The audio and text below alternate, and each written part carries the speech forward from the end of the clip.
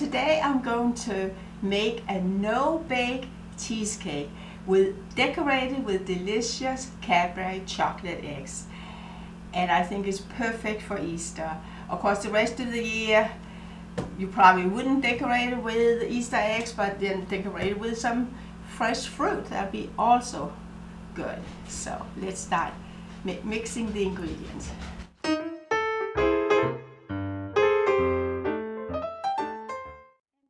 Ingredients for my cheesecakes are uh, 16 ounces of cream cheese, one pint of heavy cream, half a cup of sugar. I have eight cream filled chocolate eggs. I have one teaspoon of vanilla extract and one tablespoon of lemon juice.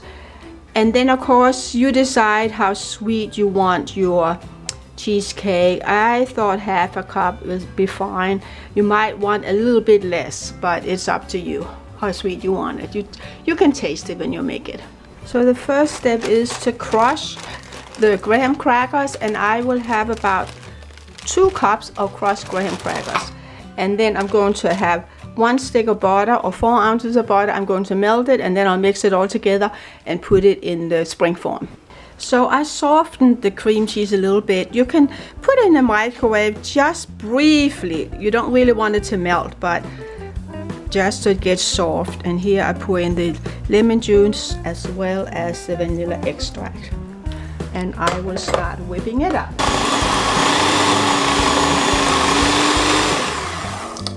And I pour a little bit of the heavy cream in here as well. Okay, the rest of the whipping cream I'll whip later on by itself.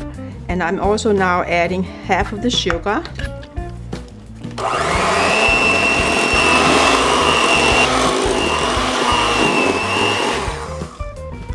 And here comes the rest of the sugar.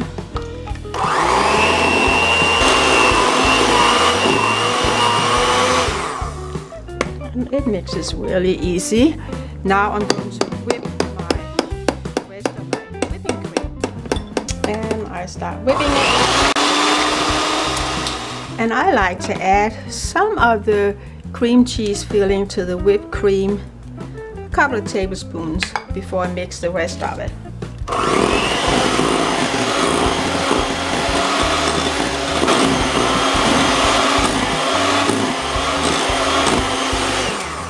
You can see it's still nice and fluffy. So I will keep adding till it's all done.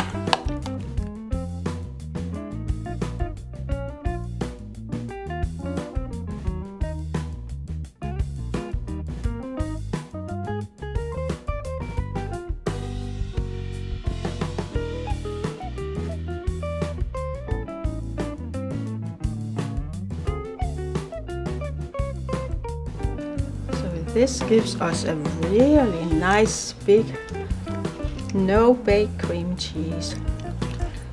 And now I can add my chocolate cream eggs as the final touch and I'm now adding the cream filled eggs to my cheesecake. And you can either cut them in half or add the whole whole egg. It depends on what you find is easier. They could break when you slice them open. It, a lot of times they kind of break for me. So, but anyway, I decided to put half, half an egg in like this and continue all the way around. I filled up the cheesecake with the cream eggs and I will now put it in the refrigerator and I will have to leave it in there for a couple of hours or till next day can eat it. And I finish off the cake with a small Cadbury eggs around the edge and uh, gives it a nice touch. And I also placed a small, a few of the smaller eggs here in the center, so it's now finished. And here you see my finished cheesecake. I will have to have a bite later on when before I serve it for my family. And I know it's going to be delicious. And of course, I hope everybody will have a wonderful holiday around Easter.